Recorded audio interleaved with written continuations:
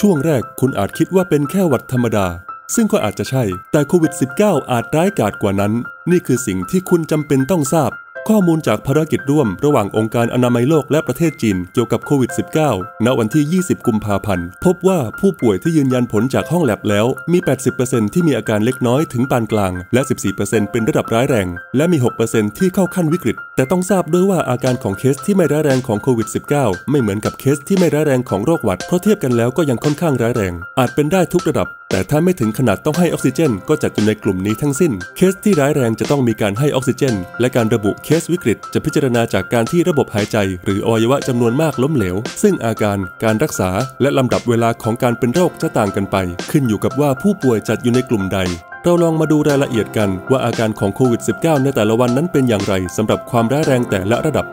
โคโรนาไวรัสชนิดใหม่นี้อาจใช้เวลาเพียง 2 วัน หรือมากถึง 14 วัน นับจากการได้รับเชื้อจึงจะเริ่มมีอาการเป็นครั้งแรก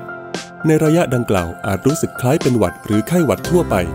โดยผู้ป่วยจำนวนมากจะเป็นไข้ในช่วงเริ่มต้น ซึ่งภารกิจร่วมระหว่างองค์การอนามัยโลกและประเทศจีน พบว่าประมาณ 88%ของผู้ที่ติดโควิด -19 มีไข้ และการศึกษาของอีกกลุ่มหนึ่งนอกประเทศจีน พบว่าแม้ผู้ป่วยเพียง 44%เท่านั้นที่มีไข้เมื่อเข้ารับการรักษาที่โรงพยาบาล แต่มีถึง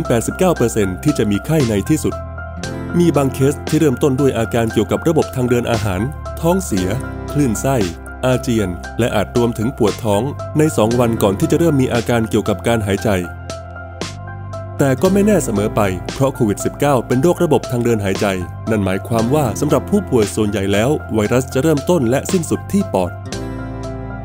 ในช่วงไม่กี่วันแรกที่ติดเชื้อ ไวรัสก็จะลุกรานเซลล์ปอด ปัญหาหลักคือการสร้างความเสียหายต่อซีเลีย ซึ่งเป็นส่วนที่ยื่นยาวคล้ายเส้นขน ที่โบกไปมาเพื่อไม่ให้เมือกและสิ่งสกปรกอุดตันทางเดินหายใจ เมื่อเซลล์ติดเชื้อมันก็จะตายและหลุดออกมา กลายเป็นส่วนหนึ่งของสิ่งสกปรกที่ขัดขวางการทำงานของร่างกายของคุณ ในการขจัดสิ่งแปลกปลอมออกจากปอดและหลอดลม การอักเสบทำให้เกิดความเสียหาย และความเสียหายก็ทำให้เกิดการอักเสบเพิ่มขึ้น วัฏจักรนี้จะดำเนินต่อไป จนกระทั่งไม่เหลือเนื้อเยื่อที่มีสภาพดีอยู่อีก การอักเสบดังกล่าวอาจเป็นเหตุผลว่าทำไมการไอแห้งๆ จึงเป็นอาการที่พบบ่อยที่สุด เช่นเดียวกับอาการหายใจลำบากและมีเสมหะ ส่วนอาการอื่นๆ ที่อาจเกิดขึ้นได้ในช่วงดังกล่าว ได้แก่ เหนื่อยล้า เจ็บคอ ปวดศีรษะ ปวดข้อหรือกล้ามเนื้อ หนาวสั่น และน้ำมูกไหล ภายในวันที่ 5 ผู้ป่วยที่มีอาการอยู่แล้วอาจพบว่าตัวเองมีปัญหาในการหายใจ และโดยทั่วไป ผู้ป่วยจะไปโรงพยาบาลในเวลาประมาณ 7 วัน อย่างไรก็ตามเคสที่อาการไม่ร้ายแรงมักดีขึ้นในช่วงนี้ แต่เคสที่มีอาการปานกลางไปจนถึงวิกฤต จะมีอาการปอดบวม ซึ่งมีตั้งแต่ระดับที่ไม่เป็นอันตรายถึงชีวิตไปจนถึงร้ายแรง ระยะเวลาในการฟื้นตัวสำหรับผู้ป่วยเหล่านี้ มีตั้งแต่2อสาวัน ไปจนถึงหลายสัปดาห์ อย่างไรก็ตาม ในบางรายที่อาการร้ายแรงและวิกฤต อาการอาจรุนแรงขึ้นจนเข้าสู่ภาวะหายใจลำบากเฉียบพลัน หรือ ARDS ซึ่งเป็นอาการป่วยที่เกิดขึ้นเมื่อมีของเหลวสะสมภายในปอด การอักเสบจะทำให้ร่างกายสร้างเซลล์ภูมิคุ้มกันจำนวนมหาศาล ซึ่งมีหน้าที่ต่อต้านการติดเชื้อ โดยปกติแล้วเซลล์เหล่านี้จะแยกแยะบริเวณที่ติดเชื้อ แต่ในบางครั้งร่างกายก็ทำเกินกว่าเหตุ นั่นก็คือเมื่อเซลล์ภูมิคุ้มกันเริ่มทำลายทุกสิ่งทุกอย่างที่เจอ รวมไปถึงเซลล์ที่มีสภาพดีด้วย ภาวะ ARDS มักรุนแรงถึงชีวิต ซึ่งในเคสระดับวิกฤต อาจทำให้ระบบหายใจล้มเหลวทำให้จำเป็นต้องทำการช่วยชีวิตขั้นสูง ซึ่งโดยส่วนใหญ่ ผู้ป่วยจะถูกส่งเข้า ICU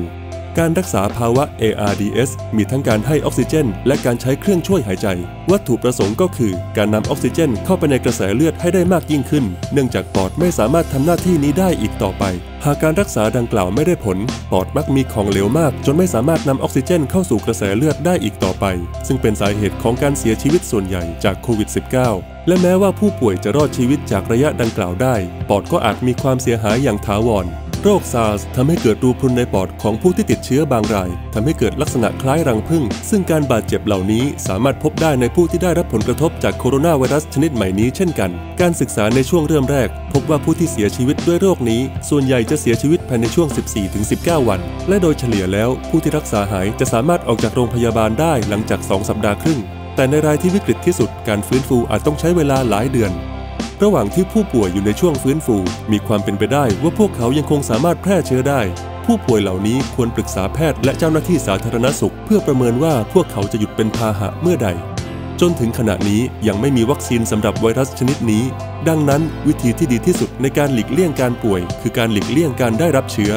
โควิด -19 สามารถติดต่อจากคนสู่คนได้ง่าย จากการไอและจาม ดังนั้นล้างมือบ่อยๆ หลีกเลี่ยงการสัมผัสโดยตรงกับผู้ที่ไม่สบาย ทำความสะอาดและกำจัดเชื้อบนสิ่งของที่คุณใช้งานทุกวัน เราต้องรับมือกับโควิด -19 อย่างจริงจัง แม้ผู้ป่วยส่วนใหญ่ไม่ร้ายแรงถึงชีวิต ขอให้ทุกคนอยู่บ้าน รักษาความสะอาด และอย่าตื่นตระหนก